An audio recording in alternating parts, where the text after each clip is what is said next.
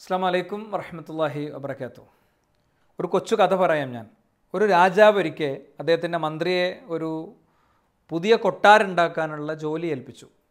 കൊട്ടാരം ഉണ്ടാക്കി രാജാവ് അതിലേക്ക് താമസം മാറും മുമ്പ് കൊട്ടാരം ഇടിഞ്ഞു പൊളിഞ്ഞു വീണു. മന്ത്രിയെ പിടിച്ച് തൂക്കിക്കൊല്ലാൻ രാജാവ് ഉത്തരവിട്ടപ്പോൾ മന്ത്രി അതിന്റെ കാരണക്കാരനായി ചൂണ്ടിക്കാണിച്ചു കൊടുത്തത് എഞ്ചിനീയറെയായിരുന്നു എഞ്ചിനീയർ തന്റെ മേൽ ആരോപിക്കപ്പെട്ട കുറ്റം കോൺട്രാക്ടറുടെ തലയിലിട്ടു. കോൺട്രാക്ടർ അതിന്റെ ജോലികൾ നിർവഹിച്ച തൊഴിലാളികളുടെ തലയിലിട്ടു. തൊഴിലാളികൾ അതിന്റെ കല്ലുകൾ കൊത്തിയെടുത്ത ആളുടെ തലയിലിട്ടു.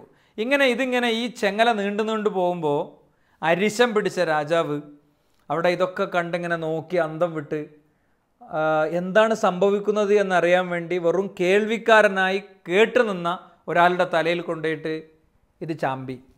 എന്നിട്ട് അദ്ദേഹത്തെ തൂക്കിക്കൊല്ലാൻ ഓർഡർ ഇട്ടു എന്നാണ്. പലപ്പോഴും നമ്മുടെ രാജ്യത്തെ നമ്മുടെ സമൂഹത്തിലെ മീഡിയ ചർച്ചകൾ കാണുമ്പോൾ ഇസ്ലാമിനെയും ഇസ്ലാമിക സമൂഹത്തെയും ഈ ഒരു അവസ്ഥയിൽ പ്രതിഷ്ഠിക്കുന്നത് നമ്മൾ പലപ്പോഴും കാണാറുണ്ട്. ഇതൊരു നിരന്തര സംഭവമാണ്. ജിഹാദ് എന്ന വാക്ക് കേൾക്കുമ്പോൾ ആ വാക്കുയർത്തുന്ന ശബ്ദത്തിന്റെ പിന്നിൽ തെളിയുന്ന ചിത്രങ്ങളിൽ പലപ്പോഴും ഒസാമ ബിൻ ലാദനും ഐമൻ തവാഹിരിയും തീവ്രവാദത്തിന്റെയും ഭീകരവാദത്തിന്റെയും പ്രതീകങ്ങളായി ജനഹൃദയങ്ങളിൽ പ്രതിഷ്ഠിച്ചവരും വരികയും ലോകത്തെ കോടിക്കണക്കിന് വിശ്വാസി സമൂഹങ്ങൾ ഇതിനെതിരിൽ അവരുടെ അവരുടെ ഓരോ ശ്വാസോച്ഛ്വാസത്തിലും ശബ്ദിക്കുകയും സംസാരിക്കുകയും ചെയ്യുന്ന ആളുകൾ പോലും പ്രതിചേർക്കപ്പെടുകയും റോട്ടിലും സമൂഹത്തിലും പൊതുയിടങ്ങളിലും വീടുകളിലും ഒക്കെ പരസ്പരം കാണുന്നവർ ഈ മീഡിയ ചർച്ചകളുടെ ഉപോൽപ്പന്നമായി ഐമൻ തവാഹിരിയുടെയും ജർക്കാവിയുടെയും അതുപോലെ തന്നെ ഇതുപോലത്തെ ആളുകളുടെയും ഒക്കെ പ്രതീകങ്ങളായി മാറുകയും ചെയ്യുന്നത് അല്ലെങ്കിൽ ഐസിസിന്റെ ഒക്കെ ആളുകളായി ചിത്രീകരിക്കപ്പെടുന്നത് അവരുടെ താടി അവരുടെ വേഷം അവരുടെ സമീപനം ഇതൊക്കെ ചിത്രീകരിക്കപ്പെടുന്നത് നമ്മൾ നിരന്തരം കണ്ടുകൊണ്ടിരിക്കുകയാണ്. ഇതിന്റെ മറ്റൊരു വേർഷനാണ് ശരിക്ക് ഫാലസ്തീൻ ഇസ്രായേൽ സംഘർഷങ്ങളുമായി ബന്ധപ്പെട്ട് നിലവിൽ കേട്ടുകൊണ്ടിരിക്കുന്നത്. ഇവിടെ വളരെ കൃത്യമായൊരു ഇസ്ലാമോഫോബിയ സൃഷ്ടിക്കപ്പെടുകയും ആ ഇസ്ലാമോഫോബിക് മാനസികാവസ്ഥയിലൂടെ ആ ലെൻസിലൂടെ കാര്യങ്ങൾ നോക്കിക്കാണുകയും ചെയ്യുമ്പോൾ നിരാലംബരായ നിരായുധരായ സ്ത്രീകൾക്കും കുട്ടികൾക്കും നേരെ ഏറ്റവും വെൽ ഏറ്റവും സർവവിഭൂഷിതമായ സൈനിക സംവിധാനങ്ങളുള്ള ഒരു രാഷ്ട്രം കാലഘട്ടങ്ങളായി നടത്തുന്ന ആക്രമണങ്ങളെപ്പോലും ഒന്ന് ആത്മാർത്ഥമായി വിമർശിക്കാൻ ഇവിടുത്തെ മീഡിയകൾക്കോ ഒരു വേള പൊളിറ്റിക്കൽ രംഗത്തുള്ളവർക്കോ കഴിയുന്നില്ല. ഒരു ബാലൻസ് ഒപ്പിക്കലാണ് പലപ്പോഴും നടക്കുന്നത്.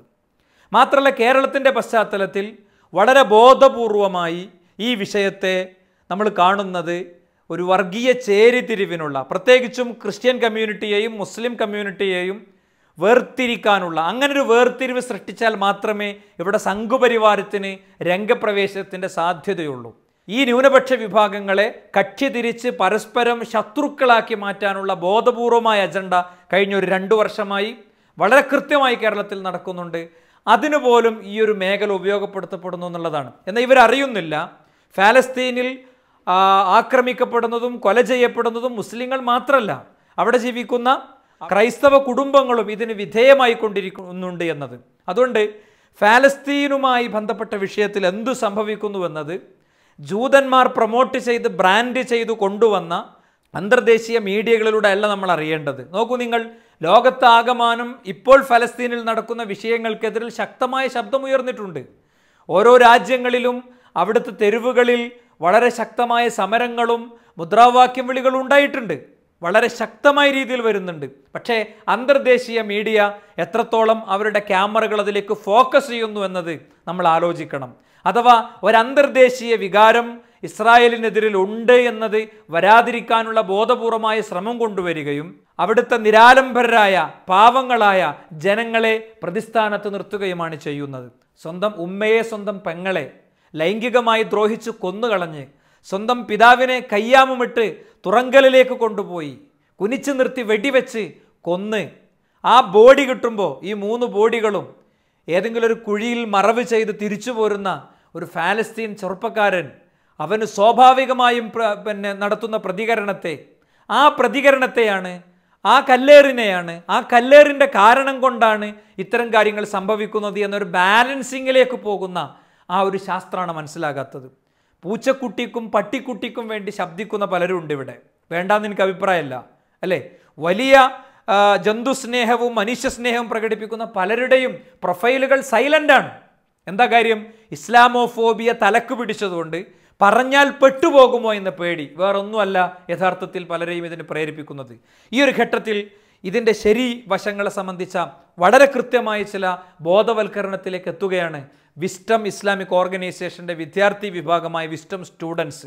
പാലസ്തീൻ വിഷയങ്ങൾ അഡ്രസ്സ് ചെയ്യുന്നു. പാലസ്തീൻ അകവും ആകാശവും എന്ന ടൈറ്റിൽ സ്വീകരിച്ചുകൊണ്ട് വളരെ പ്രഗത്ഭരായ വ്യക്തികളെ അണിനിരത്തിക്കൊണ്ട് ഇന്ന് രാത്രി ഇന്ത്യൻ സമയം ഏഴ് മുപ്പതിന് വളരെ മനോഹരമായ ഒരു പ്രോഗ്രാം നടക്കുന്നു പരിപാടി ലൈവായി വീക്ഷിക്കാൻ നിങ്ങളെല്ലാവരും ആ, ശ്രദ്ധിക്കുക ഇതൊരു പൊതുവിഷയമായതുകൊണ്ട് പരമാവധി ആളുകളിലേക്ക് പ്രത്യേകിച്ചും ഇത് തെറ്റിദ്ധരിച്ചവരിലേക്കും തെറ്റിദ്ധരിപ്പിക്കുന്നവരിലേക്കും ഈ പ്രോഗ്രാം എത്തിക്കാൻ ശ്രമിക്കുക അള്ളാഹു അനുഗ്രഹിക്കട്ടെ അസ്സാം വലൈക്കും വറഹമത്തല്ലാഹി വർക്കാത്തു موطني موطني موطني موطني ذا الإبا موطني يا